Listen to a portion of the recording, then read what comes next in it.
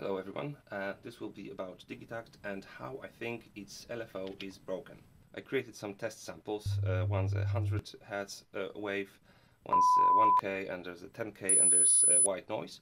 So we loaded them uh, to the machine, so it's time to load them into the project. Okay, to be able to show you how the LFO works, we need to look at the uh, spectrum analyzer. I've got one quite good uh, bundled with the sound card driver. So I'm going to use that, but you can use any old Spectrum analyzer. I could just use uh, the uh, Spectrum from live. That should be enough. So we get 100 Hz here. It's quite neat. And if I switch the sample to 1K, it's here at 1K. And here at 10K. And we've got some white noise. So far so good. Let's see that again on uh, this analyzer. So there's 100 Hertz, there's uh, 1K, 10K, and noise. Yeah. So if I uh, change the pitch,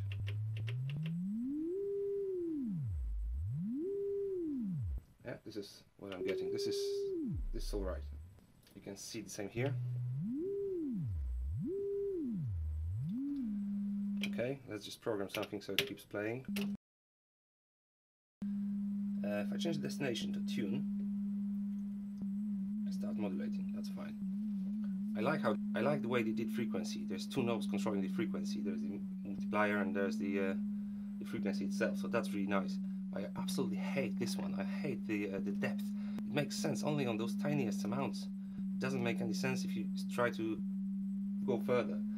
Let's do something fast enough so we can see it. And let's try to increase the modulation.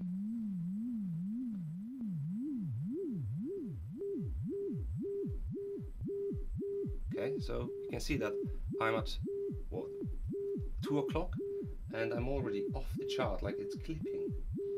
It doesn't really go much higher than let's roll this back. Yeah, so it stops working at about 5 out of 64 negative, it's roughly the same. At about minus 5, it starts to clip. So that's just, I can't believe this. Let's see what happens if I change the sample. So now it clips from the low end. Let's see this again. So that's square wave, no modulation. That's expected, that's what we want and if you go higher that's fine.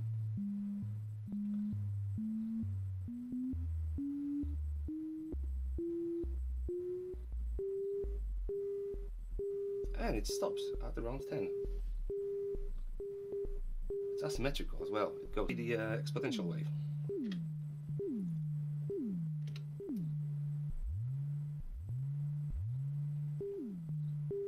Again does not go higher than 10. Let's see something else. Let's see the filter frequency and for this we got some uh, noise samples. So now we should be able to see where the filters are. So if I increase the resonance, sorry, let me just reset this. So this is how you would see a, a filter uh, on a spectrum analyzer. You can sort of see where the resonance is. So if I increase this, it's quite clear where uh, where we are.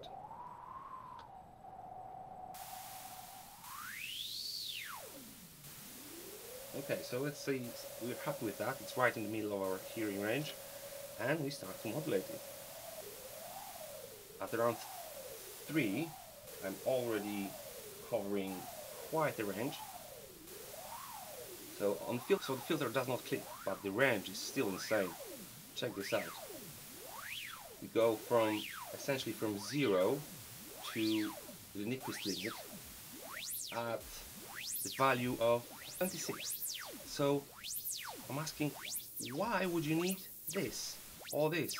It just wastes so much range on the machine. It's useless. If I want a square wave, I just I can just do a square wave. This, goes from 50 Hz to 5K at the value of 17.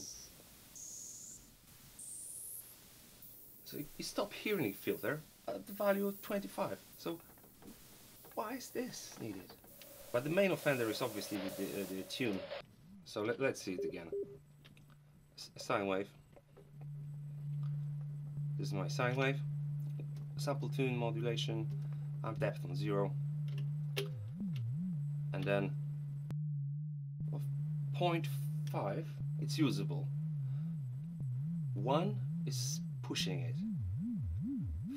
Five is sort of maximum before it clips. And then it just goes nuts and doesn't doesn't modulate anymore. So that was it. Hope it was fun. See you around.